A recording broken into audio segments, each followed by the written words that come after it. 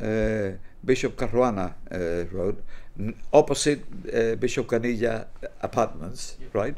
It's a corner where the Rookside used to be, a thousand square meters.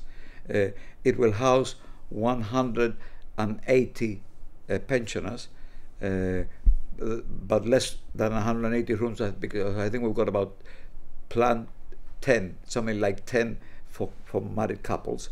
Uh, all of that is being done with the UK standards for homes. Uh, it will have, uh, you know, the, the thing has now got to planning. Uh, it will have a roof garden. There will be a, on the ground floor parking. Then there will be um, a surgery so that doctors can go to the surgery there to see patients. Uh, there will be um, a kitchen there, and there will be uh, kitchens on each floor. There will be a laundry there, so it's a self-contained thing.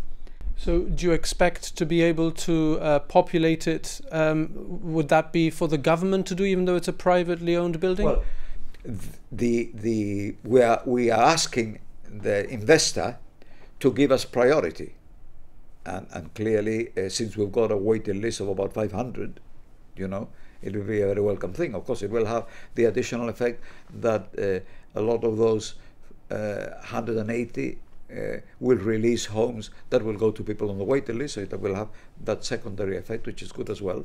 And I think uh, if it works and if we can deliver it on the time scale that I want, um, I I'm not guaranteeing that we will be with that date, but my ambition is to op- to open the place on the first of May next year.